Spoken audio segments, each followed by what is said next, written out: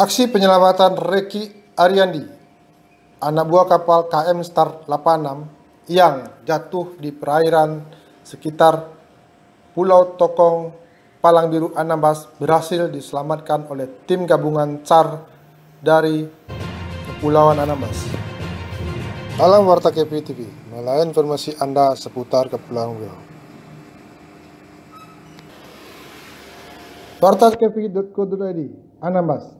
Pencarian hari kedua ABK kapal KM Star 86 yang jatuh dari kapal saat berlayar dari Kijang Kabupaten Bintang menuju Pulau Tarempa di Kabupaten Anambas akhirnya berhasil ditemukan oleh tim SAR gabungan dan Polres Pol Airut Polres Kabupaten Kepulauan Anambas pada hari Selasa tanggal 21 September 2021.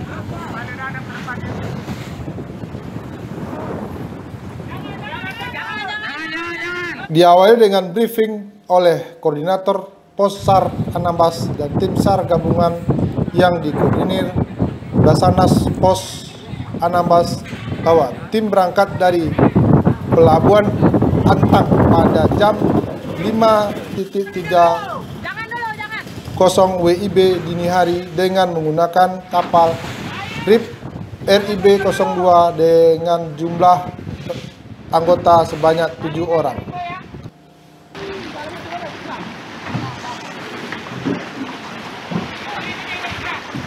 Kepala Kantor Pencarian dan Pertolongan Natuna Maxianus Bakaber Sarjana Sosial MM dalam persilisnya mengatakan bahwa korban yang jatuh dari kapal KM Star 86 saat berlayar dari Kijang ke Tarempa sudah ditemukan oleh tim gabungan yang terdiri Basarnas, Anambas, Pol Airut Polres Anambas, BPBD. Kepulauan Anambas, dan beberapa warga serta nelayan.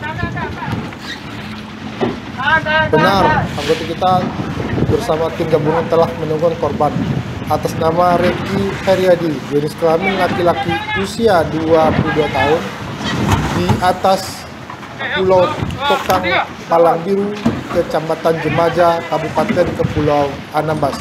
Ucap Masianus Bakabe. Jarak dari pelabuhan Antang ke pen, area pencarian titik lokasi terjatuhnya korban sekitar 71 nautical mil KNM. Ditemukan sekitar pukul 10 titik WIB pagi dan korban berhasil ditemukan oleh tim SAR dalam kondisi selamat. Adapun kronologi penemuan pada saat tim gabungan melakukan pencarian di sekitar area pencarian yang salah satu personil tim gabungan menggunakan teropong ke arah pulau kecil Topong Palang Biru bahwa terlihat orang hanya menggunakan celana pendek berada di pulau tersebut.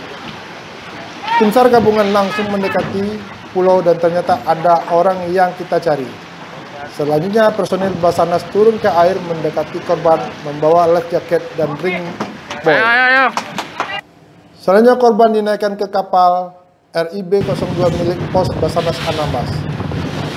Selanjutnya korban juga dievakuasi menggunakan kapal menuju ke pelabuhan Tarempa Kepulauan Anambas dan diserahkan kepada pihak Rumah Sakit Umum Daerah Tarempa. Dengan diserahkan korban ke pihak keluarga, operasi SAR dinyatakan tutup dan ucapan terima kasih kepada tim SAR gabungan yang telah memberikan evakuasi terhadap korban. Demikian laporan berita dari Rama, Portakepi Biro Anamas. Terima kasih.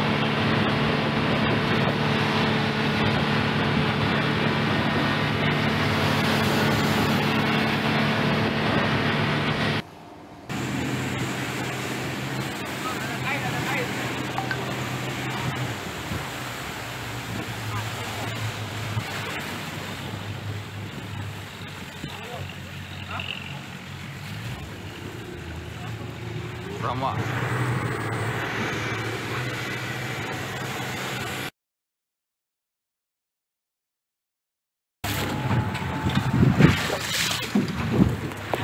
Satu orangnya, Pak.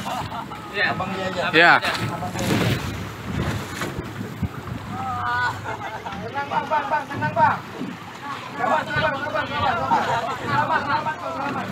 Tahan ya, Nyong, Nyong. Apa? Bang, tolong tahan, Bang ya. Bantu tahan, bantu tahan.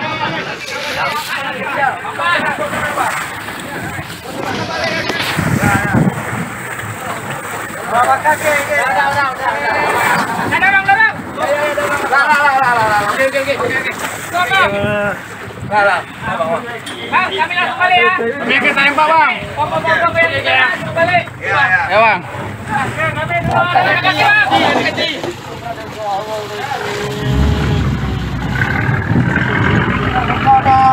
you.